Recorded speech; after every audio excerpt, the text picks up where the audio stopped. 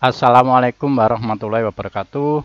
Pada video tutorial kali ini saya akan memberikan sebuah materi bagaimanakah kita mendapatkan gambar yang no copyright ya yang bebas kita pakai untuk keperluan kita di internet biar kita tidak terkena hak cipta.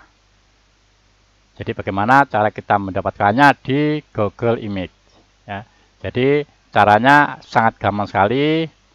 Namun sebelumnya bagi yang belum subscribe ya, biar kami tambah semangat membuat berbagai konten di YouTube, silakan di subscribe channel saya ini. Baik kita mulai. Pertama kita buka dulu Google Image ya. ya.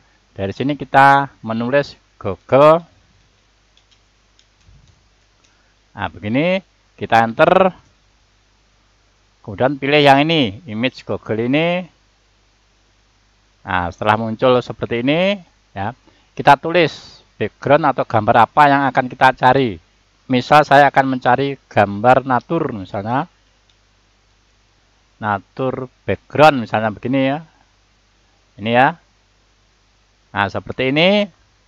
Setelah itu ya, gambar ini masih campur baur antara yang copyright maupun yang non copyright ya.